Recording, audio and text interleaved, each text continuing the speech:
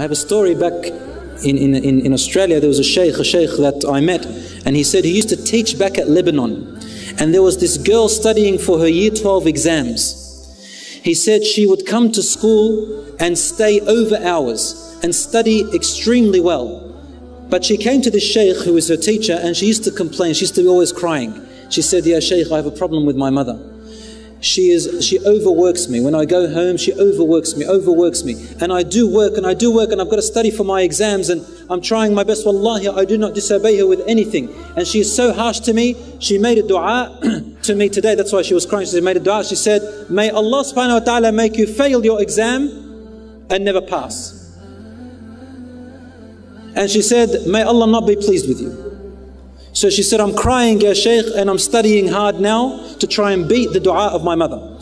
So the Shaykh gave her advice and said, Tawakkal ala Allah subhanahu wa ta'ala, have you know, reliance upon Allah subhanahu wa ta'ala. True story. And he used to see this girl studying, studying, studying. Just before the exams, by about two weeks, she stopped studying, stopped coming to school.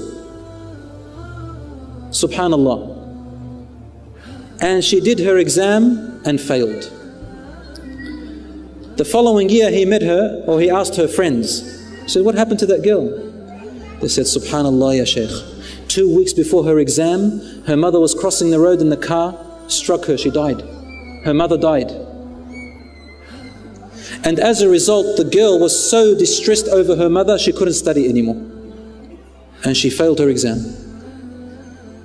The mother made a dua against her daughter. The dua was not good, so the mother died and the girl obviously was written for her, but Allah's mashi'atillah, the way Allah subhanahu wa ta'ala works with things is unexplainable. And the girl failed. She passed the following year.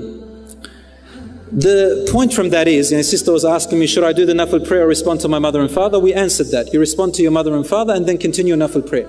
But I just wanted to mention the dua that parents make against their children in these circumstances be very careful about them. We know that the hadith of Sahih, which is in Muslim, that Rasulullah said that uh, three types of dua will never be refused. And one of them is the dua of a parent against the disobedient child. He also said, لا تدعوا على أنفسكم do not make dua against yourselves. ولا على أولادكم and not upon your children. ولا على خدمكم ولا تدعوا على خدمكم. Don't make dua against your servants. ولا تدعوا على أموالكم. Do not make dua against your wealth. عسى أن توافق ساعة يستجاب فيها فيستجاب لدعائكم. Uh, do not make this dua because you may coincide with a time where Allah is accepting du'as and your dua will be accepted. Be very careful with these du'as, my brothers and sisters.